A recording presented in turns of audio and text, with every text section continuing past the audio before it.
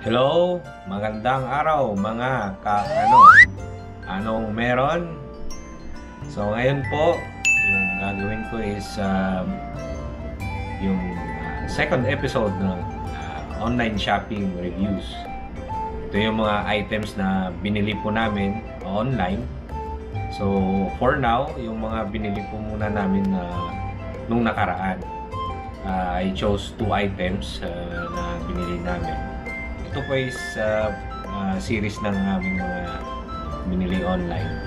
And uh, hopefully, uh, makatulong po sa mga uh, uh, nag-apply uh, na bumili po ng mga items online kung ito po yung mga items na you, intend to buy. So, uh, let's start. Yung, uh, by the way, yung gagawin pa pala, po natin na today is a two-part uh, um, um, two-part uh, episode. Uh, when I say two-part, yung una po is uh, magre-review po ng item na nabili na po namin. Uh, this, uh, these items were last year. And then yung pangalawa po is I'll, I'll be buying something again online. Uh, sa mga uh, siguro gusto kong bilhin. So that's the second part. Yung second part ko is uh, uh, we're going to uh, buy something, browse to uh, the uh, uh, Lazada web para maghanap po ng item. Okay. So yung uh, items na i-review po natin, uh, I ordered through Shopee. Okay. Okay, so sa unang item po, uh, yung item na it's almost similar dun sa unang uh, episode ng series na ito, ng online shopping, yung mga nabili po namin. Uh, we actually bought this last year. Uh, LED din po ito, pero this is a flashlight. Okay, so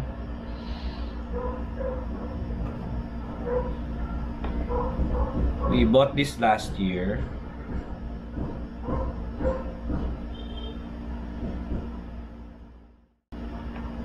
Okay, so we bought this last year and uh, this is the item that we bought. This is a uh, mini LED flashlight and it is rechargeable, waterproof uh, and USB uh, charge. It has a USB charge port.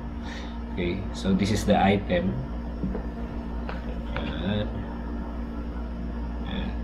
so I bought two of these. Uh, the reason na binili ko ito is uh, during the time ng uh, quarantine. Uh, from time to time kasi may ginagawa yung ano, yung Meralco.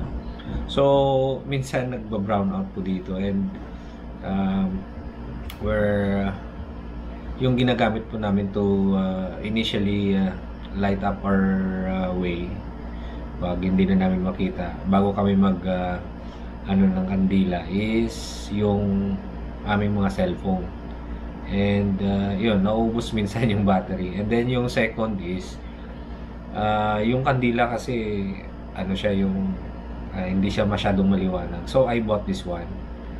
So I bought two. I placed one dun sa, sa, sa labas. And yung other one is dito sa, sa loob ng room. Now, uh, I ordered this uh, So, I ordered this uh, noong November 3. Yan. And then, ang bilis lang po. Uh, dumating siya ng uh, November 4. So, for this one, um, I'll put the uh, the link of the this item and the seller on the description box uh, just in case you you get interested on this item. So mabilis po yung delivery niya. So it came from Paranaque, Paranaque and then it was delivered almost uh, the next day uh, dito po sa uh, Kalamba. Okay. So yung review ko lang po nito kasi nagamit na po namin. Uh, maganda po siya sa in terms of uh, brightness kasi maliwanag po siya kasi. So you have uh, yung nasa front and then yung nasa side and then you could uh, yan okay tapos meron siyang uh, blinker. Okay. and then yung last is dito po. Okay. Yan so maliwanag po siya ngayon. Okay. the only thing na problem po namin dito is yung mabilis po siya maubos. Siguro it's because of the battery. So hindi siya ano, hindi pamatagalan yung battery niya. So this is for a uh, yun, uh, yun nga yung purpose niya is pag nag-brown out, yun, yun lang yung purpose niya, pang uh, pangtawid, uh, dilim. Yan. Yun po yung term ko. So, kung gusto niyo po na magamit to sa may table habang nagdi-dinner para mas maliwanag, kailangan po nakakabit siya sa power bank. Yun po yung ginagawa namin. Uh, goodbye na rin uh, sa akin uh, yun, yung battery lang yung problema ko. But pwede siyang ma ma-solve ng ano pag uh, kinabit niyo po sa power bank. Okay. And for the seller, uh, we have a uh, uh, ito yung review niya sa Shopee. Okay. Hot that's selling Ayan yun po yung shop niya. Okay. And uh, for this item, we have uh, the rating is at 4.9. So, okay na rin po. Actually, marami na po yung nabenta. Nasa 39.6k na po. And yung rating niya is around uh, yun, yun nga 4.9 and uh, merong nag-rate na 6.3 uh, or 6,000 6,300 uh, uh, uh, buyers. Okay. Okay. Okay for for the uh, second item ito po yung uh, regalo po sa amin ng aking kapatid. But I actually was the one na nag-order po nito online ito po yung item na hindi namin po makita sa mga appliance store. I'm not sure kasi dito lang naman kami naghahanap sa may kalamba. Pero napansin ko po almost lahat ng uh, appliance store dito, they don't have this one. Meron sila yung maliliit na mga 45 liters lang na oven. So, this is the Hanabishi 68 liter uh, convection oven. Uh, yung uh, model niya po is HEO 68R. Okay. It's priced at 6,969. Uh, okay. 68 liters po ito.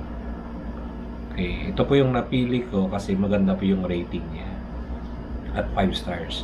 Although yung uh, uh, yung seller po nito is located uh, somewhere north pa ng, ano, ng Metro Manila which is Bulacan. Pero maganda po yung uh, rating niya. Okay. So, let's go with uh, dun sa uh, pag-ship niya.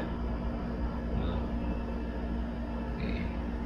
Actually, yan. Uh, if you could see, I ordered this on uh, December 1. Uh, mga hapon na po. 4 o'clock. Okay. And then, uh, it arrived here on the 3rd. So, uh, very good po yung shipping niya. And uh, I remember nung na-ship ko ito is bago siya na-ship pala is uh, the, the seller contacted me through uh, chat sa sa Shopee. Uh, he was asking for my uh, Viber number, yung number ko. Uh, because he wanted to uh, send me the video of uh, the oven uh, before uh, he's uh, he wraps it for shipment uh, for endorsement sa sa sa courier. And uh, sa video na yan uh, pinakita niya na yun uh, every everything is working uh, yung ilaw yung rotisserie yung ikot yun uh, so bago niya pinak uh, pinadala niya muna yung video yung seller na ito is uh, yung nagko-communicate sa ano sa bumibili uh, to make things uh, uh, uh, easier para sa bumibili na oh, everything is, is okay yun. So you are uh, well informed about the uh, item that you are uh, buying. So yun pa yung ginawa ng ano ng seller. Uh, yung seller link uh, uh, I will also put on the uh, on the uh, description box below including the item that I bought from the seller Okay, so based naman dun sa review din, um, actually dun sa sinabi ko na nagpadala pa ng video, I already saw that one sa mga nag-review. Okay, na sinabi niya na very helpful yung seller uh, bago niya pinak, uh, pinadala niya muna yung video na tinest niya yung uh, oven bago niya sinend sa uh, sa courier or bago niya pinak. So, pinakita niya muna, this is the proof that the, the oven that I'll be sending is working. Okay. okay so, 5 stars siya, 190 ratings. Uh, yung item na to, uh, he, he already sold around 301 uh, uh, ovens, uh, the 68 liter ovens from Hanabishi. Okay. And uh, response rate, 87%, it's okay for the feedback on this oven, uh, the only problem that you will have for this one is the offset for the temperature. Although, um, many of my uh, office mates, my friends, they were saying na yung electric oven, stable yung temperature niya, hindi siya malaro. Uh, maybe siguro kung meron kang um, gas oven, pero yung mahal talaga yun, accurate talaga yun. But for most daw, mas prefer nila yung electric oven. Now, going back dun sa oven na nabili namin. Yung oven is actually, uh, yung problem niya lang is yung temperature niya is malayo. Okay, so yung temperature difference niya is actually nasa 50 degrees. So, pag nag-set ka ng 200, it's only 150. And I was also told by one of my, um, hindi, hindi ko office mate eh, yung ka, yung vendor namin sa office kasi bumili rin siya ng oven na ganito eh. And sabi niya, may offset daw ng 50 degrees. So, if you will buy this oven, you'll need to buy a thermometer just to make sure na yung uh, temperature is correct. So, na-experience namin yan ni uh, Mami, yung unang bake niya, uh, banana bread. Parang iba yung ano niya, yung yung kulay niya. Hindi siya parang dark brown na nakikita namin sa mga nagbigay na rin sa amin ng banana bread. So, yun yung unang bake namin. Ngayon, nung sabi ko sa kanya, we need to buy a a thermometer just to make sure na tama yung temperature setting namin. So, yun, nung nabili namin and then na-set namin ng tama yung temperature based dun sa thermometer, yun, tama na yung labas ng banana bread. So, doon namin na, ano na, oh, may offset yung, ano, yung oven. Although stable siya, yun. Eh, hindi, hindi siya malaro. So, yun na yung feedback namin sa oven na ito, eh. So, for this uh, one, uh, uh, this is a great buy. Um, kung hindi ka maselan about uh, doon sa offset, basta meron ka lang thermometer. Um, the seller is uh, good uh, sa product naman. It depends sa iyo kung kung okay ka lang dun sa may uh, bibili ka pa ng thermometer just just to make sure na tama yung setting so I, I think that's uh, that's it for this uh, item and uh, I'll put the uh, uh, I'll put the uh, link of the uh, of this item and the seller on the description box. Okay, so sa second part ng vlog na ito, uh, ng episode na ito, I will uh, go through uh, dun sa uh, I will uh, put um, order uh, today uh, yung mga bibilin ko. Okay, so the first one that I will order uh, uh, right now is uh, um, so pupunta po tayo sa Lazada na uh, lagay ko na to sa wish list ko actually is uh, the orange Paiwan uh, uh, board So, bakit po ako bibili ulit ng Orange Pi 1? Um, yesterday kasi I was trying to restore yung piso wifi ko. And uh, I already bought this one, the Orange Pi. And then I was uh, actually uh, going through uh, the repair uh, yesterday. And uh, napansin ko po na yung power niya pala is uh, hindi kasama doon. So, yung ginawa ko is doon po ako sa OTG kumab kumabit. Akala ko po is power port din siya, the same sa uh, Raspberry Pi. So, yun. Pero I was able to power it. Uh, nag-connect lang po ako doon sa sa mga sa 40 pins niya po. But, yung problem ko is hindi siya nagbo-boot. So, yun. Uh, I will be sharing that one uh, when I get to repair na uh, finally yung uh, piso wifi ko. Okay. So, I'll be buying another one kasi uh, nung sinabi ko dun sa uh, colleague ko na nag-introduce sa akin sa Pisofy uh, to build my Piso Wi-Fi machine. Um, yung uh, Orange Pi 1 daw, uh, pag nakabitan daw ng power yung OTG na port niya is uh, nasisira daw yun daw yung nagiging experience nila. Hindi na daw nagbo-boot.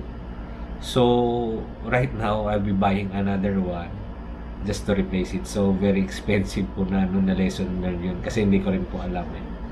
so this one um, ito na po yung bibilin ko. Yung before kasi yung binili ko is uh, this only uh, this this item only yung board so ito is may kasama na siyang power okay So USB then ito po yung dulo niya yung uh, power port niya which will go here sa may um, sa may um, power port niya.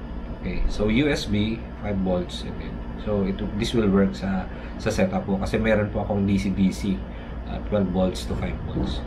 Yun po. So I'll place this uh, one in order I'll be buying from the same um, the same seller uh, only that I'll be uh, on Lazada instead of Shopee okay this is from uh, sikat na to sa mga uh, electronics enthusiast eh, yung makers or maker lab electronics so hopefully uh, dumating siya agad and then I'll be able to restore yung yung aking piso wifi and then yun uh, ma makagawa po ako ng uh, content doon and I'll be able to share it with you. Yung next item po is ito po yung sa uh, para sa aking action camera so I, I'm buying this one because I have a problem actually sa sa mic sa internal mic ng uh, Osmo Action ng DJI Osmo Action. So, I'll be buying this one and uh, maganda naman yung ratings niya. This will be shipped overseas. So, uh, tingnan natin kung ano kabilis siya dumating. This is from the seller Scoops. Pero ano siya ng Last Global. Preferred. Yan, yung tawag nila sa sa Shopee is preferred. Dito naman is uh, either Last Global or Last Mall. Yan. So ano sila? Uh, vouch sila ng ano ng Lazada. Okay. So I'll be ordering this one and from China. So kasama po noon is I'll be ordering another one. Kasi hindi yun magwo-work kung wala kang microphone. Yan. 3mm. So yun, ito po yung ikakabit mo para po mag magkaroon ka na ng external microphone. Yun po kasi yung uh, if I go back to the uh, adapter. Adapter lang po siya. Uh, ikakabit niyo po dun sa C, sa USB-C na kung saan yung charging point, uh, charging port din po. Doon niyo po is eh, doon niyo po ilalagay yun and then ito po yung uh, uh, 3mm niya na uh, port and ikakabit niyo po dito yung uh, microphone. Okay, para mas maayos po yung uh, uh, pick up ng ano ng camera during recording. Okay? So this is also shipped overseas and uh, this is also from Las Glo uh, no not Las Glo this is the shop is also um, uh, vouched by Last Global and this is being sold by the seller Open Cloud okay so I will be putting um, uh, my orders here uh, today and hopefully uh, I'll be able to put in reviews also uh, when I receive them and uh, when I use them. Uh, for the orange pie I'll include that one dun sa aking uh, piso wifi na uh, episode yung pag-restore okay. for the uh, uh, microphone and the uh, the adapter uh, it will be separate okay so yun lang po yung uh, uh, uh, yung uh, content ko for today and I hope you uh, you had uh, learned something from my uh, vlog today. Please don't forget to subscribe on uh, my YouTube channel Romy D. Uh, and um, I'll be uh, sharing more content.